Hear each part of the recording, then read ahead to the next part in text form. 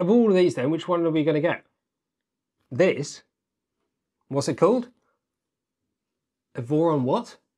Oh, so it's a prototype. We can't get that. Oh, it just looks like a prototype because you build it yourself.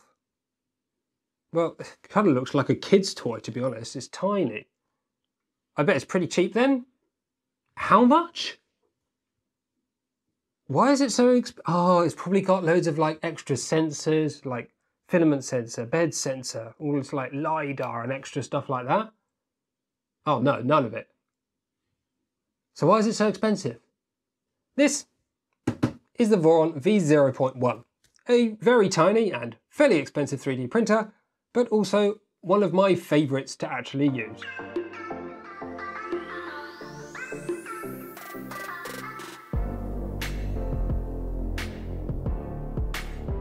The Voron V0.1 is not an early prototype like the naming suggests. It's just a small form factor, high performance, fully enclosed, high speed Core XY mini 3D printer. Before I go any further, I should let you know that my V0 is quite heavily modified.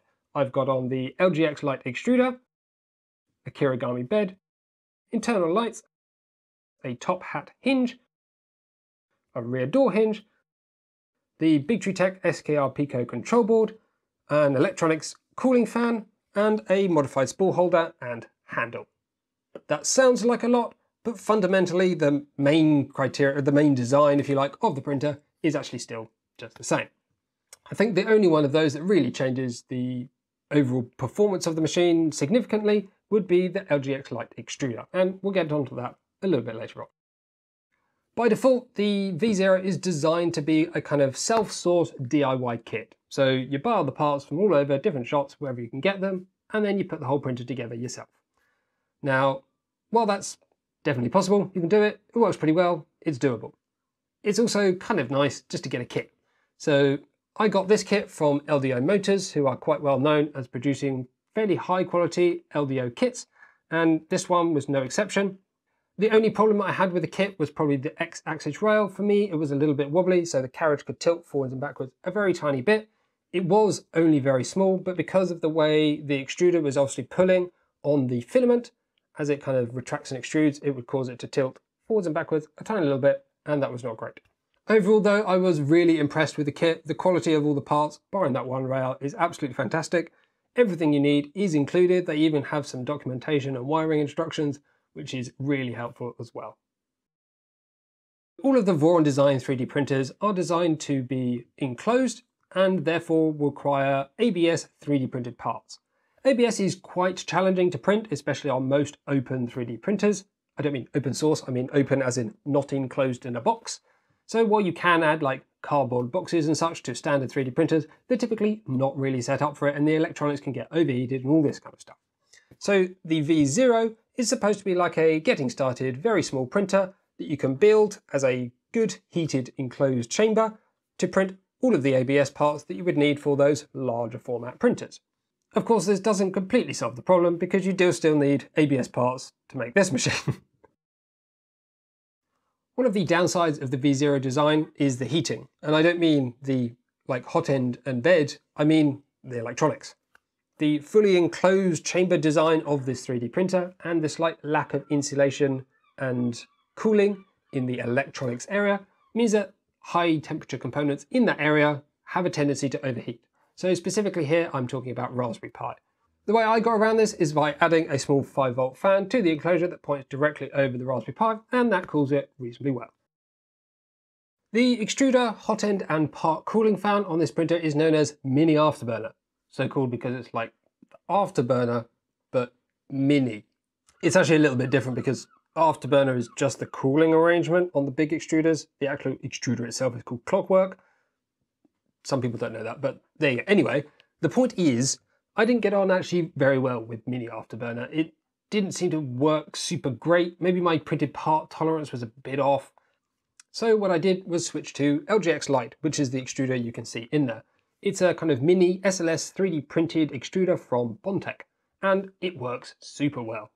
One thing I would say though is that the 3D printed parts needed to assemble this extruder, not the ones that come with it, the ones that are specifically for the V0, I would try and find someone that can print them in SLS. You can buy those from shops, and I think you can get them from Bondtech as well. You can get it as like an upgrade kit, but basically the ABS printing of that part is quite difficult because of the weird overhang support structure thing that's needed.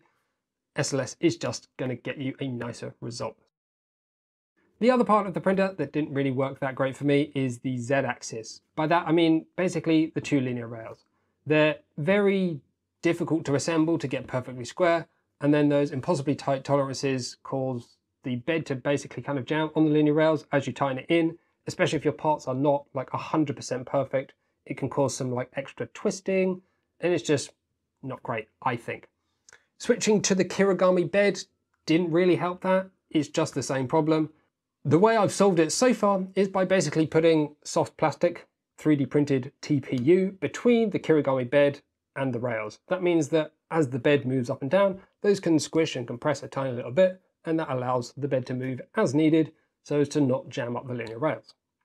I think the best way to solve this, as in a change to the design for the next version of this printer, would be to switch to a single wider Z-axis rail. This would mean that you don't have to do the alignment of those two rails, so you don't get any chance of jamming.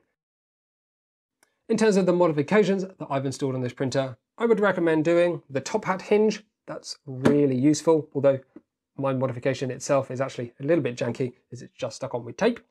The internal lights, that's really good. My room is quite dark most of the time when I don't have these like video lights going. So having a little bit of extra light so you can see what's going on inside, really useful. The back door hinge, if you like, is great for doing modifications if you're going to change your control board later, or I don't know, it's just useful. You just get easy access to the back once you remove the spool. I've also increased the length of the spool holder, so if you're using cardboard spools, which are extra wide compared to normal ones, it's basically a no-brainer modification. It's the same spool holder basically, but just a little bit longer, so you can use full cardboard spools. Speaking of modifications, uh, you should probably check out my website. I've modified the Daybreak on a stick so you can have RGB and short ones, long ones, black PCBs. They look awesome, they work really well. And there's one specifically for the Voron V0 and they're dinky 170mm size. So check that out in the link below. Like many other high-performance 3D printers that are around these days, the Voron V0.1 uses Klipper, which is a firmware where you have a single board computer which controls your normal control board, which then in turn controls the rest of the printer. So with that, you get all the normal advantages of having Klipper, such as the web interface via Mainsail or Fluidd, easy firmware configuration without having to recompile the whole firmware, and very easy one-click kind of uploading of a print directly from the slicer. There aren't any fully configured, like ready done images for using a Voron V0 at the time that I was doing this. So you do have to do a little bit of work to configure it yourself, but it's generally very easy to do and the documentation is really very good. That being said, it looks like V0 support is coming to RatOS fairly soonish, so if you're watching this video in the future, you may want to check that out as that will be very much pre-configured and very easy to set up. When it comes to actually doing some 3D printing, the GitHub is probably the best location for you to get some profiles for this printer, and those are for Super Slicer. If you've not used Super Slicer before, then just think Prusa Slicer, but with extra settings. The print profiles you can get are reasonably good. You might want to tune them for your specific materials and like overall design if you've slightly modified it, for example. But by and large, they're pretty good. I've not modified them much and I'm very happy with the results. I've printed over 100 hours since I've installed the Big Tech Pico board, so it's 100 plus a bunch more before that. If you do want to print materials other than ABS, then the LDO Motors kit actually comes with a smooth sheet as well. I've not used it because it's mainly for printing PLA, and because I've got mine fully enclosed, it's really optimized for printing ABS, and that's what I print in it basically 24-7. Well, not 24-7, I've only done 150 hours probably total, but I use it for printing ABS, and it's blooming good at doing that. My recommendation on printers is get the smallest printer you can that prints the size parts that you need. Obviously, if you're printing parts every day that are 200mm long, wide, whatever, this printer is not going to be suitable. But if all the parts that you print, or most of them, fit in this build volume, it's a blooming great printer for doing that. So I really like having small printers that have a big enough bed to print all the parts that I typically need.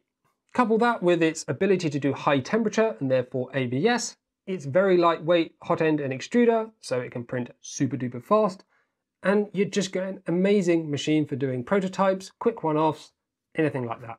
That being said, it is quite an expensive printer and you do need to build it yourself. So let me know your opinions on those two things in the comments down below.